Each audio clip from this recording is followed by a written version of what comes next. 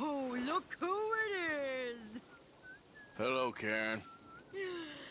Look who it is. Oh, Arthur. Big, tough Arthur. you wanna know something, Arthur? What? I don't know. I don't know. I had something to say. I did. Take it easy, Karen. On the hooch? Why?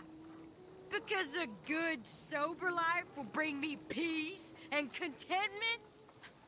What a crock of shit this world is.